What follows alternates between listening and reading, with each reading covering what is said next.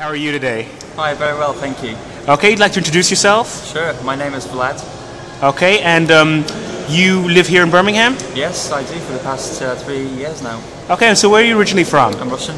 Russian, okay. And what were you doing here? Um, Um, I've graduated from Aston University last year, and now I study. I work in Adapt Accountancy as a business development officer. okay, and what do you enjoy about that? Well, the thing that I enjoy the most is the flexibility and the people you meet at work, and the fact that I've learned so much over this short space of time working here, uh, as I learned in Aston University over three years. And what are some of the things that, what most important things that you think you've learned?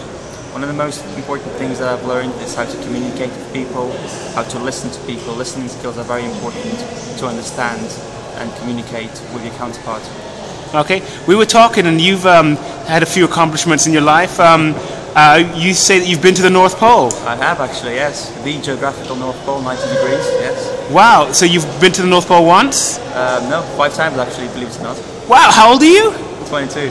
22 years old, you've been to the North Pole Yes. five times. Yes. And so now you're learning how to communicate and do more through working with what company again? Uh, adapt accountancy. Okay. Well, thank you so much for your time. It's been really inspirational um, talking to you. Do you have any words of advice for any of the young entrepreneurs out there? Yeah, sure. Um, set your targets and remember that nothing is impossible. All right. Thank you, Vlad.